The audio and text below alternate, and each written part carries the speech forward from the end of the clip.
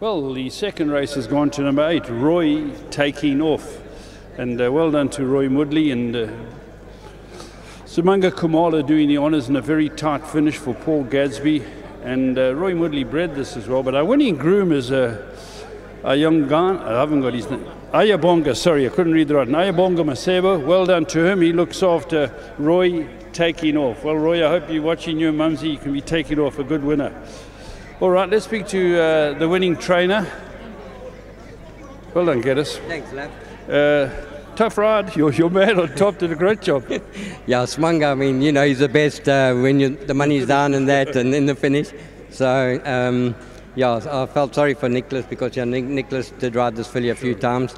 But um, I was a bit worried, you know, um, that Roy was going to be taking off if we didn't win this race. so, Where is Hibri Roy? and he's around, he's around. Yeah, yeah. He's, he's still buying a few mares, don't worry. But yeah, well done to Roy. Thank you very much for supporting us. And uh, he deserves everything he gets. And uh, hopefully we can buy maybe one or two. We'll see how the babies go now. Um, they're taking a bit of time. Tell him to spend some of their money. Roy, get get get a couple of good horses for Geddes. Yeah, left. Maybe you should give him a call. I'll give a on my call. behalf, you know. Give him a call. Thanks. You can have one as well. Yeah. have, you any more runners? Uh, no, that was it. We had one in the first, one in the second, fifth, and first. So well done to my team at home. Well done to Beth, and uh, yeah, all- and to Roy and his family. Thank you. Well done, Geddes. Thanks. Smanga, well done. You earned your money there. Tight finish. Yes, uh, obviously big thanks to Mr. Gadsby. Um, he just uh, told me just right there as a finder, and uh, from there, you know, uh, she's quite quick at the gate, but uh, she was uh, a bit slow. Uh, obviously, she came out sli- slightly sluggish, and I thought. Uh, I must try and uh, get as close as possible, but I thought no, I'm, going to do too much for me. Rather just uh, give her a chance and uh, follow them through. And they started picking it up every every every furlong. I felt okay, fine now.